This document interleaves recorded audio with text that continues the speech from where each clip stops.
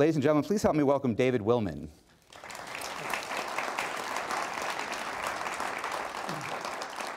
Uh, David, first of all, take us back to those days following September 11th, and, and, if you could, give us a, just a brief timeline involving the, the anthrax mailings. Sure. Uh, the anthrax uh, attacks first came into public view on October 4th of 2001. That was when a photo editor at the parent offices of the National Enquirer in Lantana, Florida, was hospitalized with a life-threatening infection, which turned out to be inhalational anthrax, which mm -hmm. is an extraordinary uh, event to have occurred. Mm. He died, Robert Stevens died the next day of October 5th. Uh, and it took a little bit of a while, but uh, starting a week later or so, uh, there was concern that maybe there was anthrax uh, coming into some media outlets in New mm. York. There was uh, ultimately a letter recovered from NBC News. It was addressed to Tom Brokaw, another to the New York Post. Uh, but the big event that put the anthrax letter attacks center stage came on October 15th of 2001 when a letter addressed to then Senate Majority Leader Tom Daschle was opened on the fifth floor of the Senate Hart office building right here in Washington. And uh, the panic that ensued was, was uh, palpable mm. uh, and uh, it was quite a sensation and, and immediately seen as the second wave of terrorist attack on the heels of uh, September the 11th. Mm -hmm. Now, tell us before we get into the investigation itself, how, how did you under, why did you undertake this project in terms of the book? Did you cover this for the for the Times? Uh, I covered uh, the anthrax case uh, beginning actually uh, in 2008 directly, mm -hmm. but I had written extensively. Uh, for the Los Angeles Times about a, a backstage battle here in Washington over uh, the anthrax vaccine. We all remember that the uh, vaccine that's been used on service members has been very controversial uh, with a lot of reported uh, adverse effects from that vaccine. There was a second vaccine, a competing vaccine, that had actually been developed at Fort Detrick, uh, that the license for which was picked up by a small little California biotech. And the promoters of that vaccine and a lot of other people in, in the, the, the U.S. Army were hopeful that it could be a, a safer and more effective vaccine. Uh, it was a genetically engineered vaccine. So in my reporting for the Los Angeles Times, I looked in depth at what really happened behind the scenes that uh, that, uh, that did in this next generation anthrax vaccine. Mm -hmm. uh, that positioned me to dive into the anthrax letter attacks right. the next year. So I was covering civil lawsuit that had been filed by a gentleman named Stephen Hatfill, mm. and, and that, that sort of positioned me to get into this case. Right. And we'll, we'll certainly talk about Stephen uh, later, but let's talk about the central character in the book, uh, Bruce Ivins. Uh, why, do we, why do you call him the Mirage Man? Well, Bruce Ivins uh, was a, a fellow who led a uh, double secretive life. Mm -hmm. And those who thought they knew him well or even knew him best uh, didn't know anything about this second alternative life that he was mm-hmm. leading. Right. Uh, a life in which he pursued secretive vendettas against individuals and institutions. Uh, so that, that's the, the title, The Mirage Man. Right. And um, now let's just cut right to the chase. Do you think Bruce Ivins did it? Do you think he sent out these anthrax? Well, in my, in my research for the book, uh, I backgrounded uh, Bruce Ivins' life from actually his prenatal care all the way mm. through to uh, the day of his death on July 29th of 2008. And uh, in looking at the totality of the evidence that is out there, uh, I think that it uh, points persuasively toward his guilt. Right. Of course, we'll, we'll never, do you think we'll ever completely know the truth? Obviously committed suicide three years ago. Do you think the truth will ever come out definitively about, about Bruce Ivins? Well, complete truth is a, is a very difficult uh, concept, isn't right. it? Uh, there's a lot of evidence out there about this case and, and about Bruce Ivins uh, that I think, when looked at in the calm light of day, is persuasive. Mm -hmm. Is it possible that there are, are, facts that we don't know about? Absolutely. Mm -hmm. So a complete version of truth is, is pretty elusive. Right. What was um, his ultimate motivation, uh, you know, to commit this murderous act? Right. Again, uh, his suicide in July of, of 2008, uh, he took with him uh, a lot of secrets, obviously. Mm -hmm. but what we do know about, about Bruce Ivins is that uh, he was a guy who was, had very difficult time adjusting socially from uh, grade school early on in, in uh, when I reconstructed his life going out to southwest Ohio. And then on the way through, he had, uh, er, he had deep need, uh, and, and it took uh, bizarre forms for uh, attention and approval. Mm -hmm. And when he didn't get those things, uh, particularly from certain individuals and institutions, he became deeply vengeful. And he Mhm. pursued those vendettas in a very secretive way that persisted for decades. So as an adult, um, he craved the attention and the, the approval. Uh, I, what I found in the research for my book is that he was uh, extreme, grew increasingly angry over the threatened status of his baby, as one of his colleagues described it to me, Bruce's baby, his pet project, which was, it turns out, the next generation anthrax vaccine, the genetically engineered vaccine, uh, which he had co-invented. And uh, he knew from meetings he was attending in person at the Pentagon, uh, 2001 to 2000 into 2001, that that project was really moribund. It was, it was, uh, it was stifled. It was dead in the Mhm. water. In the words of the supervising major general, who I quote in The Mirage Man, uh, this project was beyond the back burner. Hmm. Um, Bruce Ivins was a, a, a student of what it took to get things going, and um, ultimately, uh, crisis is what gets policy moving in this country. Uh, he knew that. So, what's the ultimate motivation? I mean, we know that what happened as a direct result of the anthrax letter attacks, to get ahead a little bit into policy, Mhm. is that something called Project BioShield was passed. And uh, the first contract awarded under Project BioShield, a multi billion dollar effort, was for $877.5 million to develop the long moribund next generation anthrax vaccine. Mhm. Bruce's baby, the Right. product upon which he held two patents. You sort of referred to some of his uh, personal demons and quirks. Uh, can you tell us about some of them, uh, including his obsession with the Kappa Kappa Gamma sorority? Uh, tell us about that. And, and there was a sort of a role that the Kappa Kappa Gamma played in terms of the mailings themselves. Well, yeah. Um, Bruce Ivins uh, was an undergraduate at the University of Cincinnati and actually then obtained two graduate degrees, our master's and, and a PhD. Uh, as an undergrad, he asked a young woman out for a date, and she turned him down. Uh, she moved on and actually quickly forgot about most of it, but he never did. And uh, he became obsessed with Kappa Kappa Gamma and targeted uh, individual members of the sorority and the institution itself. He committed uh, two burglaries that we know of uh, at Kappa uh, houses, uh, both in Cincinnati and in Morgantown, West Virginia, where he stole uh, artifacts having to do with the sorority and uh, the cipher and book of ritual, which to him was the Holy Grail, which, which spelled out all of Kappa's secrets. He Mm. placed classified ads in Mother Jones magazine and Rolling Stones magazine, offering to send the book of ritual and all these secrets to anyone who wrote in, uh, which he did. And he rented that post office box uh, per his custom in uh, a pseudonym, a, a woman's name. Uh, so that's uh, some of the example of, of, uh, of his obsession with this, with this sorority and with certain individuals with it, one of whom was a woman he met uh, while he was a postdoc at the University of North Carolina in Chapel Hill. The woman's name is Nancy Haigwood. Some of you may have heard of her. She was then a doctorate, uh, doctoral student and a former Kappa, a mentor to Kappas on campus. He became utterly obsessed with her and was for the balance of his life. And uh, he confided, in fact, to a psychiatrist who I cite in my book, Dr. Naomi Heller, that uh, he had uh, had a plot, a specific plot to poison and kill her Mm. as of 1979.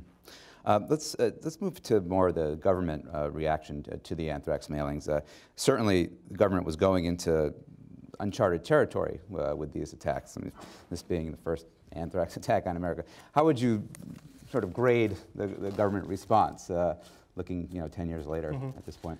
Uh, well, well, this is obviously an incredibly tough case for the FBI. Sure. And though there had been an, uh, scores, maybe hundreds of hoax letters in the previous years, this was their first real deal.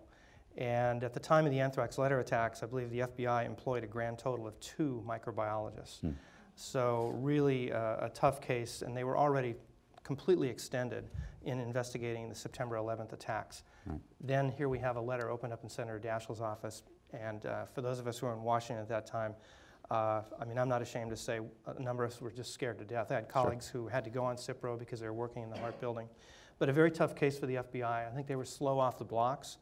Uh, but they did gather themselves, and with the help, as I point out in the book, of a woman named Rita Colwell, who was then the director of the National Science Foundation, they cobbled together a stable of elite, really world class uh, scientists to help assist the investigation. Mm-hmm. And uh, I think eventually got on a more solid footing, at least on the scientific aspects. Right.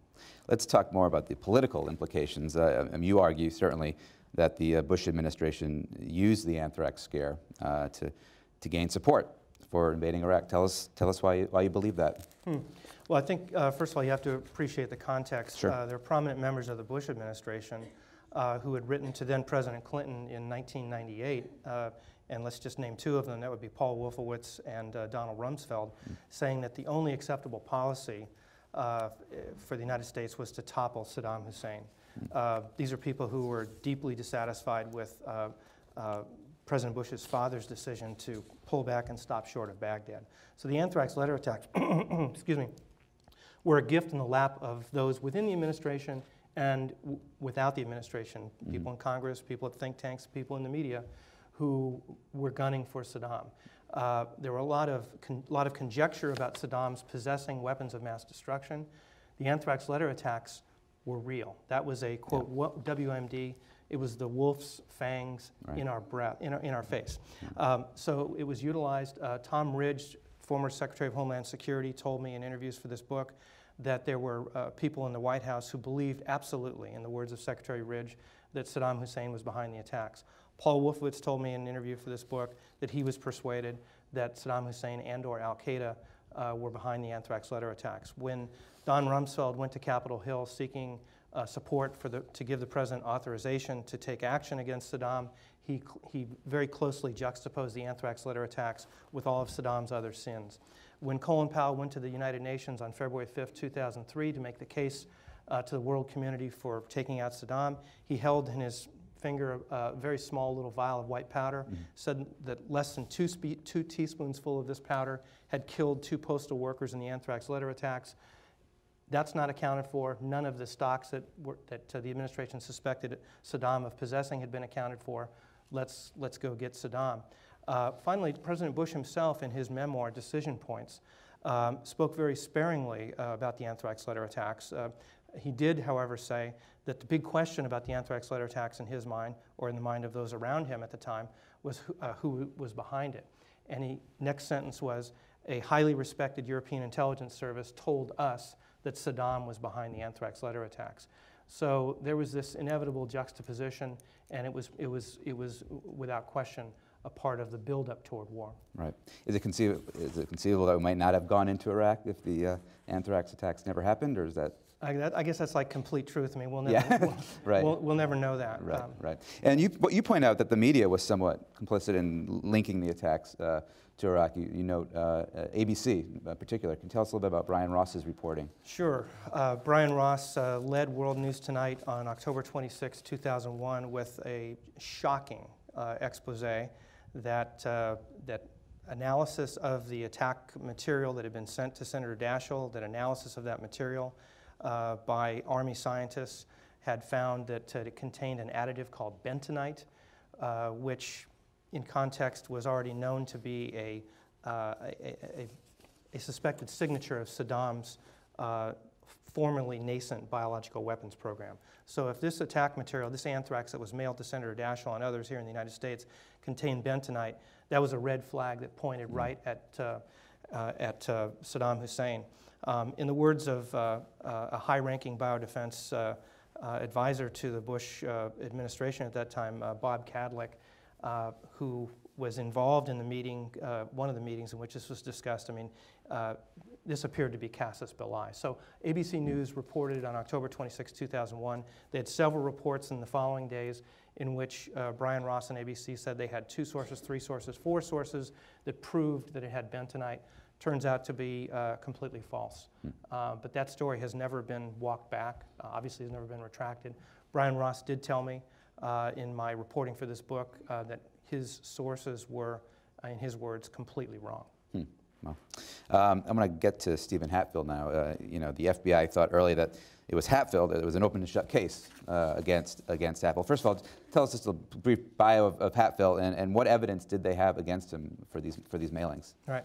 Well, Stephen Hatfill is a vi- virologist, Virologist. Uh, who, from uh, 1997 to roughly September of 1999, worked at Fort Detrick, and more particularly uh, in the United States Army Medical Research Institute uh, of Infectious Diseases there within Fort Detrick, uh, studying viruses. Um, uh, so the anthrax letter attacks hit. Uh, Hatfill was, a, was sort of a swashbuckling guy who was always talking about uh, his exploits uh, when he was working in other places around the world. And uh, several people, uh, former colleagues of his, uh, called the authorities and said, you know, you ought to look at this guy. Uh, as I report in this book for the first time, a polygrapher with uh, uh, a certain uh, federal agency called the FBI and said, you know, you ought to look at this guy.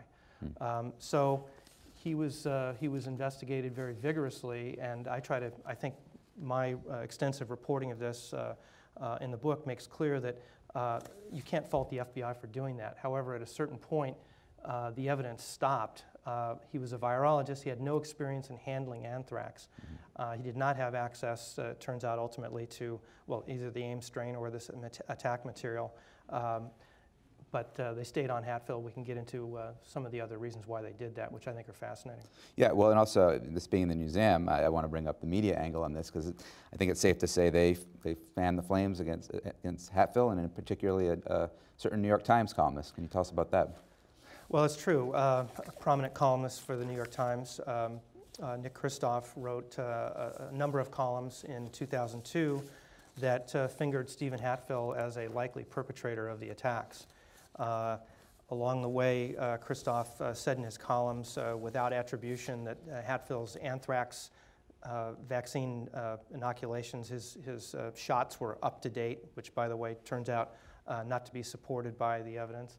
Um, and he said that Hatfill uh, may well have been handing out Cipro to people at a secret safe house that may have had some shadowy tie to the intelligence world. Those things just aren't supported by the evidence. Now, uh, Kristof and others also, by the way, credulously um, swallowed uh, this information about these bloodhounds, which many of you may recall, these magical, supposedly omniscient bloodhounds that were brought in from Southern California that uh, uh, traced uh, the attack material and the scent of Stephen Hatfill supposedly to a number of these ponds in the Frederick Municipal Forest up above Frederick. And uh, the leader of the FBI investigation was very persuaded by that evidence. Wow. And in fact, he and the FBI director, Bob Mueller, briefed that evidence uh, with total seriousness uh, to Senators Daschle and Leahy on the night of uh, January 29, 2003. That's a long time after they started uh, investigating Stephen Hatfill. And uh, they were trying to, to get the case against Hatfill buttoned up and uh, in, indicted. And there was a certain prosecutor who stood in the way of that. What uh, tell us what Stephen what ha- eventually happened to Hatfill? What is he doing now? Right. Well, Hatfill uh, uh, quickly lost his job in the private sector with a military uh, defense contractor. Uh, he sued uh, a number of media organizations and he sued the United States government, more particularly the FBI and the Justice Department. And in June of 2008, uh, won a settlement uh, worth $5.82 million. Uh, two months later, in late August of 2008, uh, the United States ar- attorney here in Washington sent an explicit letter of exoneration to Hatfill's lawyer, so he was completely cleared. What's he doing now? He lives at least part time uh, in Northwest Washington and uh, wants to go into the Amazon and try and discover drugs maybe that could provide cures. Uh, we do want to hear from our audience, so if you do have a question, please raise your hand. And it looks like we have our first question. We'll, go over there to the blue shirt, and then we'll get to uh, over here. That'd be great. We have one, yeah, one mic there. Perfect. Richard Lambert, I've read your book and it's very good. Richard Lambert, the lead uh, for the FBI uh, that steered, seemed to steer the investigation to Hatfill. Whatever happened to him? I know he was replaced by Montooth. What happened to Lambert? Was he ever disciplined for his? No, uh, Richard Lambert, uh, as of September of 2006, was uh, uh, elevated or transferred, however you want to look at it, uh, to be the special agent in charge for the FBI uh, at their office in Knoxville, Tennessee, where he uh, remains. Um, frankly, a lot of the scenario of this reminds me of the Batman animated series characters. You know, Enigma comes up and it's got all this bad stuff in its industry. But the question that comes to me is do you have any guess as to why the targets were picked that he picked? Mm, good question. I think that the objective of the anthrax attacks was to create maximum fear and attention for our vulnerability to an anthrax attack. Because if we're vulnerable to anthrax, what do we need? We need a, a vaccine, a vaccine we can trust. And we've got one that's now been taken out of action. Crisis, fear is the one thing that can rescue it. So, how do you generate the crisis? Well, sending it to the, to the most notorious tabloid uh, in the United States, if not the world, is probably not a bad first start. Sending it to a, a national uh, network anchor is another step. Sending it to the biggest circulation mainstream tabloid in this country, the New York Post, another good step.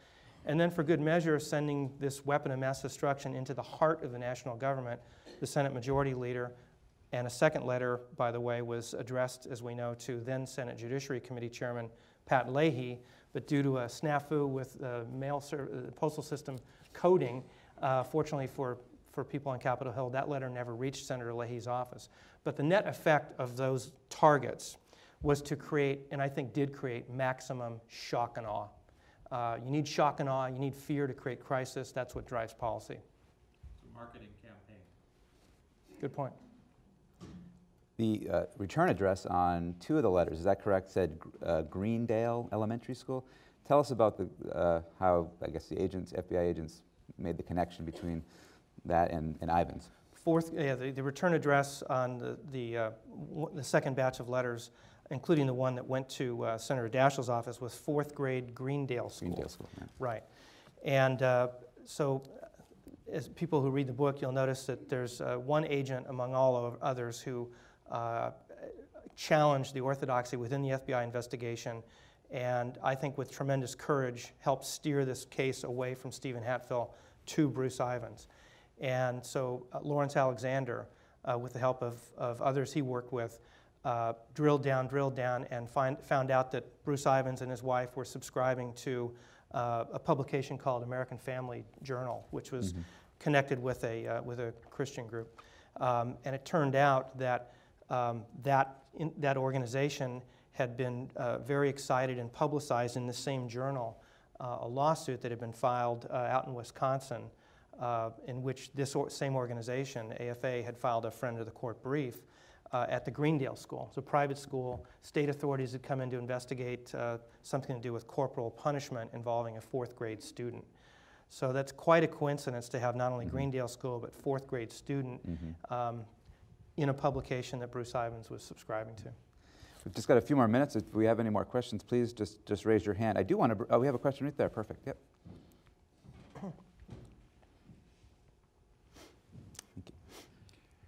Uh, uh, Hi, uh, I guess my question, uh, and I had this feeling at the time, was that uh, the, the mailings occurred so soon after the September 11th attack that it, it would seem that somebody was ready to do this and almost, uh, you know, was, so do you think that, that, uh, that Ivins was, was, was waiting for some kind of triggering event, or would he have gone ahead with it anyway? Do you have any insight into that? Could- That seems to make this, make the terror, uh, you know, the fear and so forth, uh, impact much greater because it was so close in time. Right. Uh, Great question. Um, And it also points out uh, one of the uh, most, I think, powerful pieces of evidence against Bruce Ivins, which is that Bruce Ivins, uh, alone among any scientist who had potential access to this rare batch of anthrax, uh, began working uh, extraordinary late night hours in a biocontainment hot suite where you have to go in, you have to uh, put special gown uh, gear on, take your clothes off. You're in that environment, and, and as you're getting out, you have to shower out. So it's not like just hanging out in, in a lab with a few rabbits or in, your, in, in another non containment suite. He started that in late August. Now, bear in mind, he was furious uh, even before then about uh, the moribund status of his baby, the next generation anthrax vaccine. Um, he had all sorts of anthrax uh, in his possession that was labeled in ways that only he would know. So he, uh, he had plenty of access to the material. So the September 11th attacks happen. And uh, I think what the evidence suggests is that uh, the first batch of anthrax, and the first batch, by the way, of letters uh, were, were, were postmarked on September 18th. Uh, it's very fast after the letter attacks. Uh, and that first batch that went to Tom Brokaw, that went to the New York Post, uh, was really crude material. I mean, it looked like pepper you would shake out of a, out of a shaker at Denny's. Um, it wasn't the really fine white powder that was sent to Senator Daschle later. So it suggested a rush job. Uh, unfortunately for Bob Stevens, the photo editor down in Florida, it was good enough to kill him. Uh, up in New York, all we had were uh, cutaneous anthrax cases. Um, so that's, I, I think that the, the uh, September 11th attacks uh, provided an opportunity uh, uh, and an imperative for uh, the perpetrator to accelerate. Oh, we have a question in the third row there. Perfect. Thank you. Uh, You mentioned Ivins' wife. Has she been uh, helpful to the FBI, and what is her opinion about her husband's involvement? Um, Diane Ivins uh, has uh, not said a word publicly about her husband in this case. Um, I've had uh, several very brief uh, conversations with her, and uh, she's, she's declined to talk. What she did do in the aftermath of her husband's suicide was to pay the criminal defense lawyer they had uh, more money to uh, remain uh, responsive to things that were in the public domain, including media inquiries about her husband. So through that method, she has talked about it. Beyond that, um, don't know. I've wondered about uh, background checks of why somebody with this kind of background was working in that kind of sensitive area to begin with. Uh, Outstanding question. Um, And uh, actually, it gets to one of the most surprising things in my research, which was uh, one day I received a response to a Freedom of Information Act request I had made of the Army, um, seeking any and all uh, documents pertaining to evaluations of Bruce Ivins' mental fitness uh, to be doing the highly sensitive work he was doing. Bear in mind, he's working on a daily basis and has unfettered 24 7 access with really practically no supervision. That's how it went up there at Fort Detrick to anthrax. And the response I got in very declarative English that I could understand, I was very appreciative of that, was that uh, uh, at no point in time in Bruce Ivins' employment by the U.S. Army from December 1980 until uh, mid 2008 uh, did the Army ever evaluate his mental fitness to handle anthrax. Um, that is a shocking uh, dereliction, in my opinion, and I'm not the only one. There's a, a, a panel of, of, psychiatrists and other uh, behavioral analysts that were put together in the aftermath of the suicide on the orders uh, at the behest of the Justice Department, but with the order uh, from uh, supervising chief U.S. District Court judge here in Washington, Royce Lamberth. They got access, did that panel, to um, all of the contemporaneous notes from psychiatrists and other therapists who had uh, met with Bruce Ivins over the years, going way back to the late 1970s.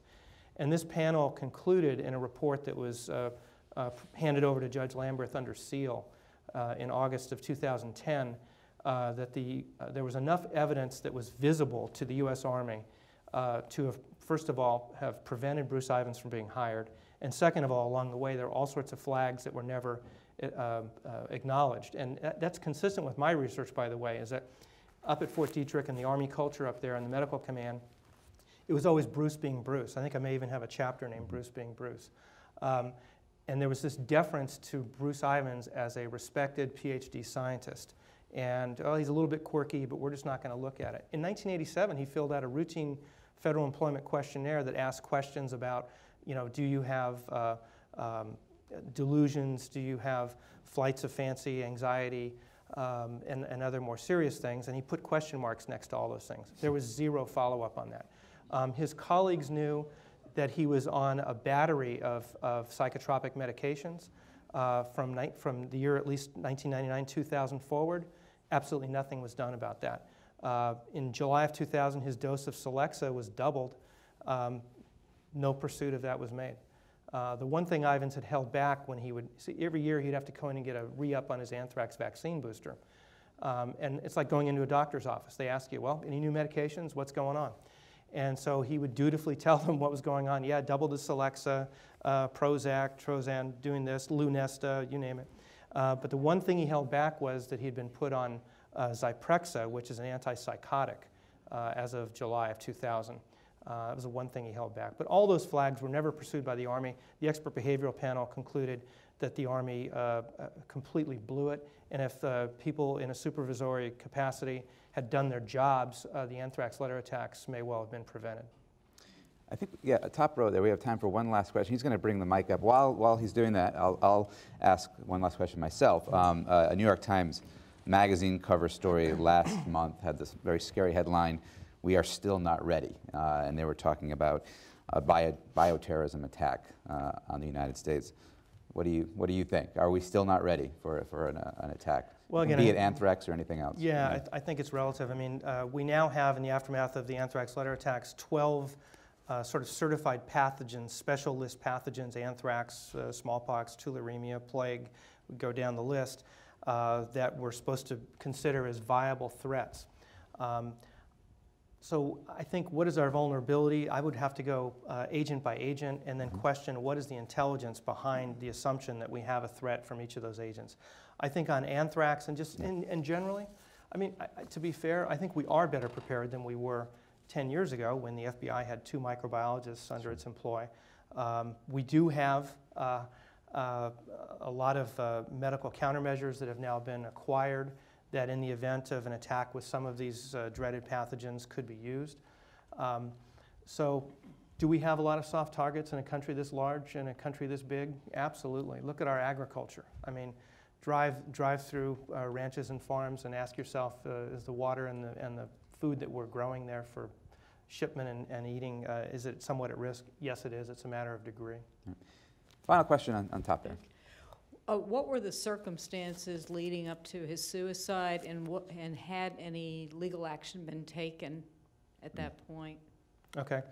Uh, Well, Bruce Ivins uh, was, was very wary of that he was under investigation for years and years and years. Uh, And by the way, parenthetically, he was telling the FBI beginning in October, November of 2002 that he thought any number of his colleagues may be the perpetrator. He ultimately fingered up to seven of his current or former colleagues. Um, He, uh, Bruce Ivins, though, was actually assisting the FBI as sort of a consultant to the investigation in those early years. Stephen Hatfill, he was clearly the lead suspect. Um, It wasn't until November 1st of 2007, if you can believe that, that the FBI ever searched Bruce Ivins' home, his vehicles, to find any potential evidence. He certainly knew as of November 1st, 2007, that he was a very serious suspect. And obviously, I mean, he was, uh, he was almost, I would say, paranoid about being in, under investigation for the preceding two years based on his conversations with people, his behavior at at least one conference I have in mind in September of 2005 in Santa Fe, New Mexico, which is detailed in the book. Uh, and then his emails show that he's getting more and more fearful that he's under investigation. Um, as of uh, 2008, there were three final interviews that his attorney agreed to where Bruce Ivins met face to face with the lead FBI investigators and the lead prosecutors in this case. Um, and it was obvious the case was very serious. Uh, coming into June of 2008, and I believe on June 9th was, would have been the final interview he had with the FBI, immediately thereafter, Bruce Ivins was informed by his defense lawyer uh, that he uh, should expect to be indicted for the an- five anthrax murders and that it may, very well may, may be a death penalty case. So Bruce Ivins assisted his lawyer in filling out the paperwork and submitting it again to our friend Judge Lamberth uh, to get federal assistance for a death penalty defense. So he knew he was in jeopardy of being indicted. He, he talked about it all the time and wrote about it in emails. Uh, and then we come down to the dramatic events in July. Uh, I'm skipping his being hospitalized, by the way, in two different locations for uh, in the aftermath of one suicide attempt in March of 2008, uh, and then showing other signs of uh, abusing alcohol. So he was hospitalized for rehab. Uh, on July 9th uh, of, of 2008, he went to a group therapy session, uh, told uh, his uh, fellow participants in the group therapy session in the presence of a, of a counselor and a psychologist that he was going to be indicted uh, for the anthrax for the five murders and that he wasn't going to go down for these murders. He was going to go out blazing. And he said that his uh, son was bringing him another, a, a new weapon, which was going to be a Glock. Uh, his other handguns had been seized in the November 1st, 2007 search. Um, so the next day, he was uh, approached by uh, Frederick police because uh, the, the uh, therapist at the session called the local police, felt there was a, actually a legal duty she had to report that this guy could be dangerous. The police went in and led him out, not in handcuffs, but led him out and took him to Frederick Memorial Hospital, where he was put under immediate observation, and then the next day was transferred to Sheppard Pratt, which is a psychiatric hospital up in Towson. Uh, he was there for the better part of two weeks, was released. Uh, within 24 hours of being released, went to the local uh, uh, supermarket and bought uh, uh, a huge packet of Tylenol PM. And ultimately, the blood work at the hospital, when he was rushed there two nights later, the, actually the Sunday morning of July 27th, showed that he had a massive overdose of Tylenol, along with a benzodiazepine, which was probably Valium, which he was taking all the time. I'm just surprised he was running around loose all that time with all this evidence against him and given that he was suspected of killing all these people. Yeah, uh, before he was released from Sheppard Pratt, um, as I say in my book, the lead prosecutor on the case made a, uh, an emphatic effort uh, to try and keep him institutionalized there. But uh, both Bruce Ivins and his lawyer uh, and the uh, clinicians who examined him at Sheppard Pratt said, hey, you're good to go, you're fine. Um, That's what happened. Well, we've run out of time. The book is The Mirage Man. I want to thank David Willman for joining us here uh, this afternoon for Inside Media.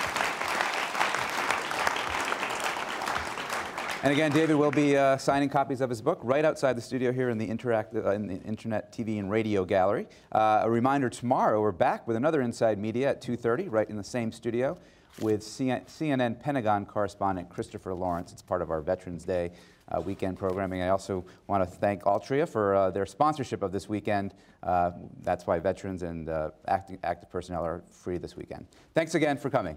Thank you. Thanks, David. Great job. Fun, thank you. You too. Really good.